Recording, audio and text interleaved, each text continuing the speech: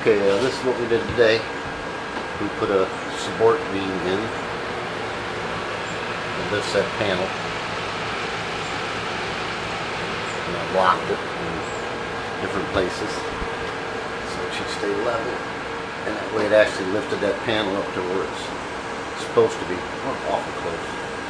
I ain't gonna be perfect, I ain't gonna be factory, but it'll look good when I get done. That's what we did today. And then we started uh, putting the panels in. And that's it. Say goodnight, Mel. Good night, Mel.